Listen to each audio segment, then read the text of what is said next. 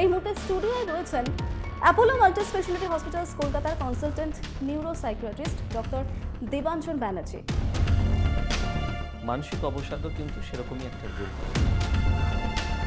মনে হচ্ছে যে নিজের বেঁচে থাকা মানে কোনো অর্থহীন। অনেকের আত্মহত্যা করার প্রবণতা জন্মায়।